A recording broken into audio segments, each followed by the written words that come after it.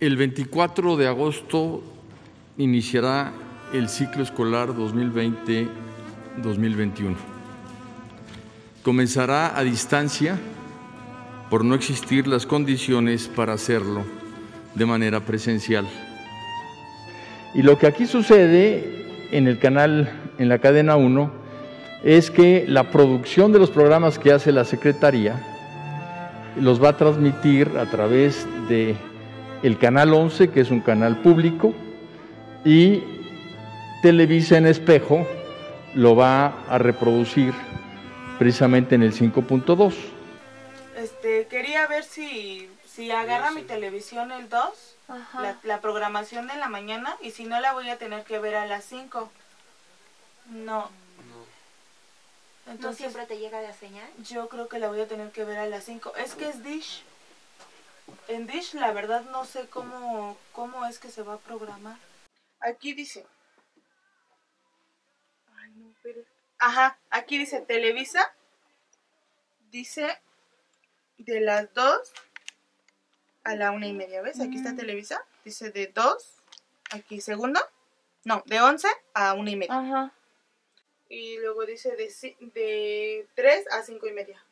Pero ¿cómo pongo el punto aquí? No sé. Entonces ahí no sé cómo.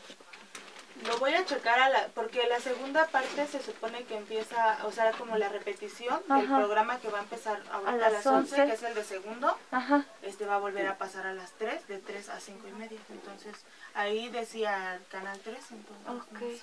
El programa consiste en lo siguiente, ves el programa a la hora completa, bueno, media hora, mm. y después, o sea, tocan un tema y después de eso este, vienen tres preguntas, las apuntas y las contestas. Vienen 10 minutos de hacer ejercicio y después viene este, otra media hora de programa.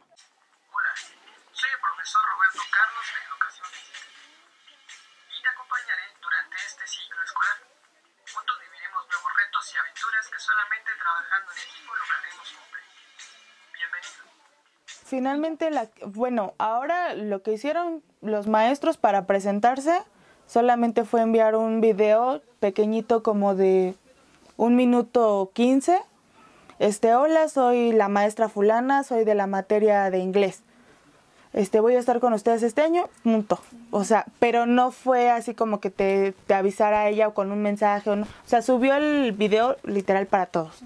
Bueno, te enteras que, pero que tú digas que la directora te marcó, te dijo, no, o que te manden ahí el paso por paso, no, o sea, tampoco, o sea, es como que ahí les mando el, o sea, la vocal es la que sube, este, la maestra me mandó este mensaje, ahí les mando el link, o ahí les mando la información.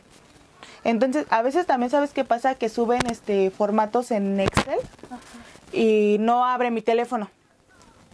Subían una, una hoja el día lunes eh, con las tareas de todos los días, hojas de los libros, del cuaderno, las, las planas que tenía que hacer o las cosas que tenía que resolver y se tenían que mandar diario. O sea, decía lunes, este, español, matemáticas, bla, bla, bla. Y luego en la tarde teníamos que tomar las fotos y enviarlas por WhatsApp. Y, este, y así estuvimos haciendo las tareas. O sea, las subíamos diario, diario, diario, las enviábamos por WhatsApp. Pero ya de último, este, nos, nos mandaron a pedir como todo o sea, un montón de tarea eh, ya del final y luego la teníamos que mandar por correo electrónico y ahí fue donde se me complicó. ¿Por qué? Porque mis datos, o sea, finalmente, pues yo no trabajo, la verdad. Mi esposo es el único que trabaja. Pero ¿estás de acuerdo que o comes o le metes dinero al teléfono? Entonces no podíamos meterle dinero al teléfono. Lo que hicimos fue pues conectarnos en la esquina salir todos los días a la esquina, todos los días a la esquina a mandar las tareas. Diario, diario, diario era lo mismo. igual para enterarnos de lo que iba saliendo al día de la maestra, pues igual estar esperando que nos mandaran los mensajes ahí, o sea, estar en el internet. Y después cuando nos tocó lo de enviar todo por correo electrónico, no subía.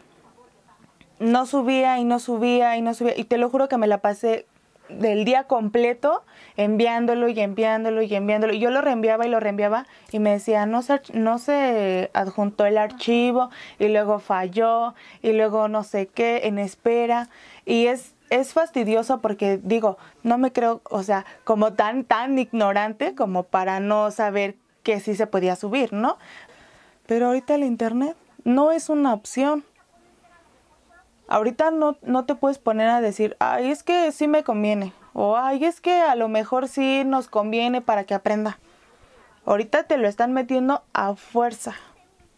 Ahorita a fuerza. Si no tienes internet no vas a hacer nada. jamón cocido, de la clasificación jamón económico. Respecto a la proteína, se encontró que entre más alta es la clasificación con el jamón, mayor es el contenido de este nutrimento. Entre los jamones comerciales. Yo soy de Caracas, Venezuela. Llegué en el 2015, cinco años, cumplo este año.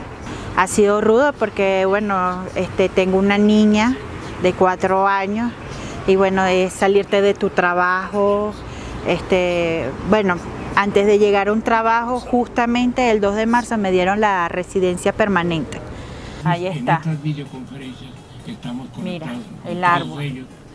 ¿Viste? Aquí está el árbol. Ya, aquí vamos a ponerle más hojas. Ya. Y falta putita. Pasa En el caso de ella es como estresante porque ella es hija única. Entonces, claro, este, explicarle que no puede salir, que no puede ver a sus amigos. Tuve que implantar el Total Play o el Internet porque no teníamos. Entonces ya es otro gasto para que ella esté más tranquila. Y bueno, las actividades del colegio han sido como estresantes el año pasado porque fue todo como a la mitad y la otra mitad nosotros teníamos que resolver.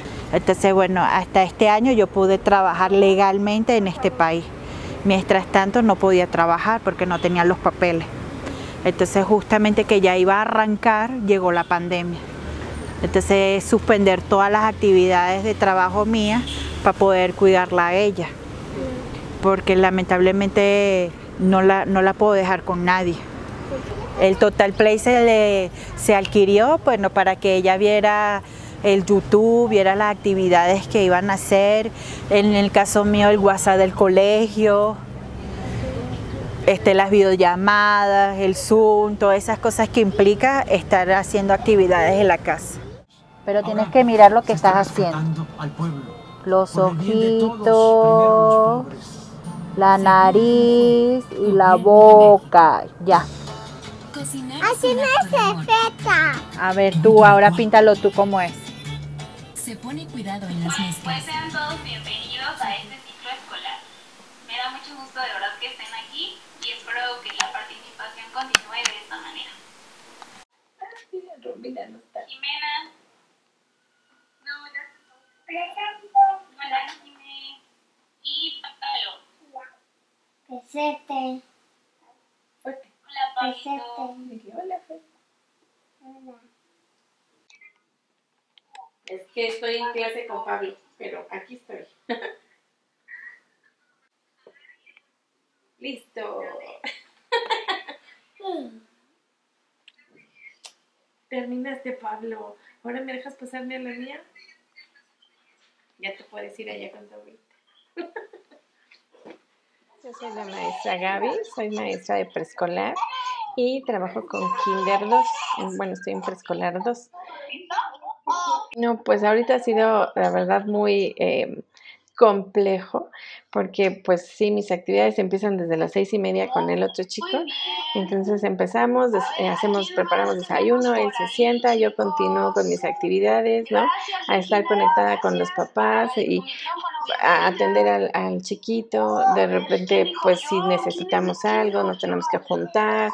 Este, sí ha sido un poco complejo porque sí, aunque estamos en casa, pero hay muchas actividades que hacer, entonces sí, estamos adaptando. Súper nerviosa, rara. Muy, muy diferente el trabajo porque no es lo mismo estar aquí sentada a través de una pantalla que verlos física, ¿no? Y estar atrás de ellos corriendo, ¿no? Y sentándolos, regresándolos, etcétera. Entonces sí es un poco complicado y diferente, pero pues sí emocionada porque pues creo que sí hay buena respuesta y por lo menos creo que están la mayoría. Mira, ya se empieza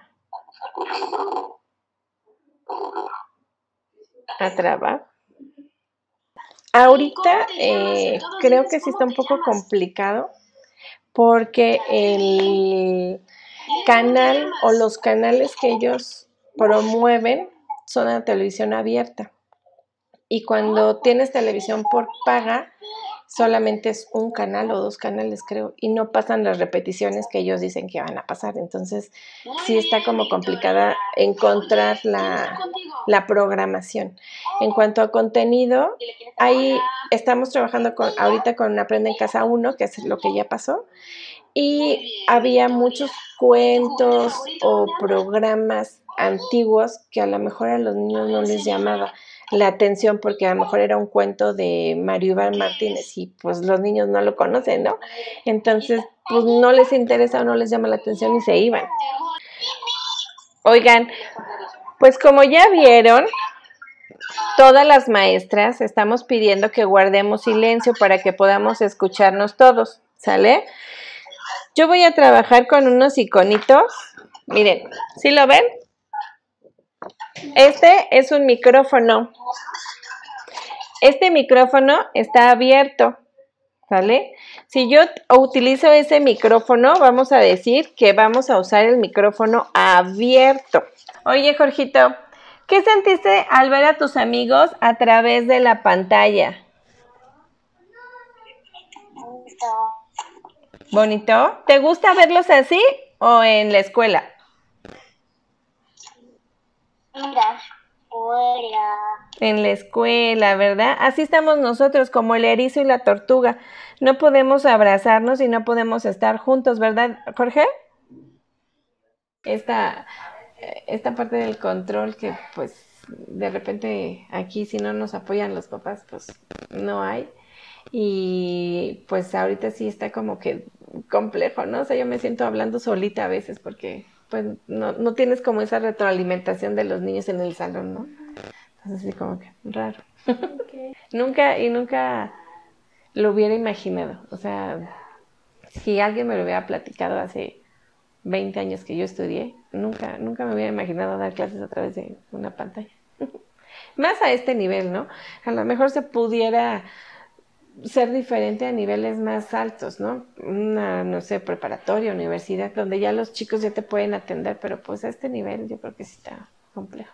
Ok, mi nombre es Luana Alejo Esquiafino y tengo 13 años, cumplí en cuarentena. Pues siento que hemos tenido que llegar a adaptarnos porque al menos cuando terminé el año, que fue cuando empezamos en cuarentena, el año pasado, yo estaba súper emocionada, me paraba súper temprano y después me fui como desmoralizando un poquito, eh, empezaba a llorar cuando hacía tareas y la verdad no estuvo tan padre.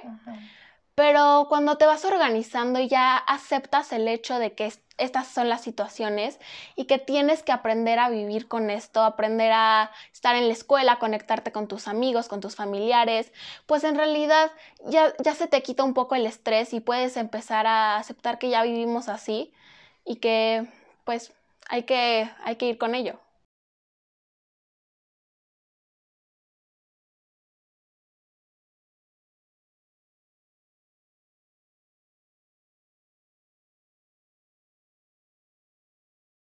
No, sí, me ha costado muchísimo trabajo en diferentes aspectos, porque al menos en mis clases, que tenemos clases extracurriculares y talleres y así, pues la verdad la organización ha sido muy diferente. Entonces sí ha sido un poco difícil, no, a veces no sabía cómo entregar tareas, entonces los maestros me regañaban y la verdad siento que debe de haber entendimiento de las dos partes, tanto de la escuela como de los estudiantes, de las situaciones en, en las que estamos viviendo. También la conexión, a veces tengo problemas de internet o los maestros tienen problemas de internet y es muy frustrante porque no puedes aprender de la misma manera en, esta cuarentena he tenido más curiosidad por mí misma. Me, he logrado concentrar y enterar de muchas cosas que están pasando en el mundo aparte del coronavirus. Por eso he tenido que aprenderlo por mí misma, porque es muy difícil que en las clases te digan eso. Pero en internet, pues obviamente está todo. Entonces me han enseñado a, buscar correctamente para, para yo poder ser una persona curiosa y enterarme por mí misma de lo que está pasando. Entonces siento que el 2020 no es un año malo, sino que nos dio mucho para reflexionar a las personas y eso deberíamos de continuar haciéndolo en toda la vida. Mi nombre es Oliva Marisol, tengo una pequeña que cursa el sexto grado de primaria y soy locataria del mercado Jamaica. El nombre de mi pequeña es este, Melanie Josefina y el ciclo escolar sí fue un poco difícil en concluirlo porque luego hay muchas de las ocasiones que uno no tiene las herramientas y uno o sea, se tiene que acoplar a las herramientas que uno tiene en casa. Como por ejemplo aquí no tenemos televisor, pero encontramos el método del celular. El equipo es base recarga. Aquí no tenemos este, internet, entonces le tiene que recargar al equipo para que ella pueda acceder al contenido del celular. A la semana como unos 80, 90 pesos. Pues sí se complica porque como por ejemplo el niño de primero, ese sí este, tiene que estar uno con él. Entonces igual, o sea, el de la secundaria pues sí ya solito hace sus cosas y como quiera. Pero el de primero sí se le tiene que andar explicando más las cosas. Y, luego mi hijo, pues por hacer sus cosas él no hace con su hermano. Entonces hasta que no llego yo de trabajar es como, a ver hijo, vamos a ver la repetición y empezarle a explicar cómo se le hace con la niña. Y luego nos dicen que la niña no puede andar aquí, o, no es tanto ya por ellos, porque ya hay, hay varios niños aquí que ya sí te pasan de los 12 años, pero así con los niños pequeños como de 5, 6, 7, sí vienen y te dicen el niño no puede estar aquí. Pues un poco difícil porque cuando estoy haciendo la tarea y la música que ponen distraen, no, no dejan concentrarse a uno bien. A mi casa si hay tráfico me hago dos horas y si no hay una hora. Pues de aquí me voy a las 8 y a mi casa voy llegando 9, 9 y media. Por la crisis eh, ya hay eh, conocimiento de familias que no van a poder mm, mantener a sus hijos en escuelas eh, particulares. Y hay escuelas privadas que ya eh, están informando de que no van a tener alumnos eh, suficientes. Sí, la escuela nació hace 59 años como jardín de niños. Lo inició mi señora madre, maestra rural. Y en el mes de, abril vimos el número importante de personas contagiadas en, en la colonia y sobre todo en la calle en la calle donde estamos aquí hubo bastantes muertos y un número impresionante de infectados. En, ese, en el mes de abril, que vimos todo ese tipo de, situaciones, decidimos que no queríamos llevar una sola vida en nuestra conciencia. Después de 59 años,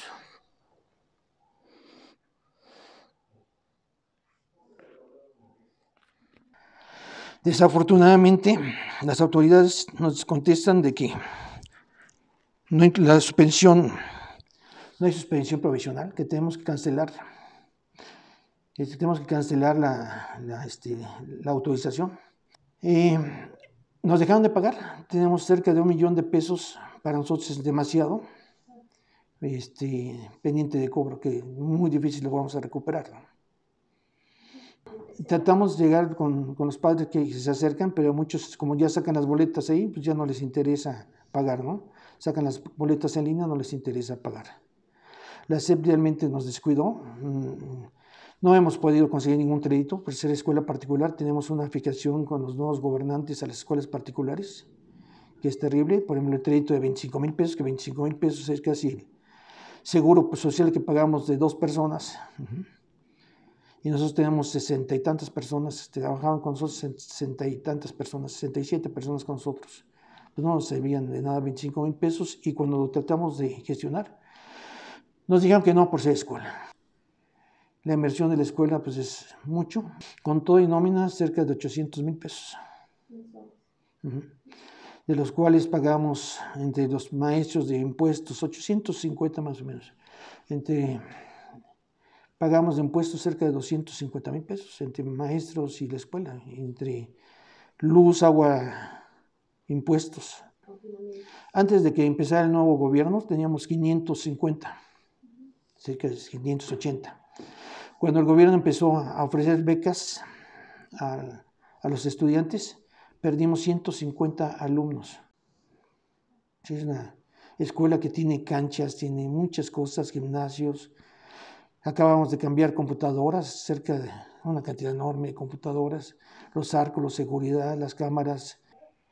Bueno, terminamos el ciclo, estamos tratando de terminar. No quiero dejar ningún solo pendiente, tenemos esa convicción de no dejar ningún solo pendiente. Tenemos problemas porque muchos padres desafortunadamente han fallecido, otros han perdido su trabajo y no han tratado de sacar los exámenes eh, este, extraordinarios de sus hijos, no, no se han presentado. Pero la decisión de la escuela es terminar completamente y tratar de empezar el siguiente ciclo escolar si las condiciones lo dan. Yo quisiera volver a abrir, la verdad es que es mi pasión la situación. He invertido mi vida.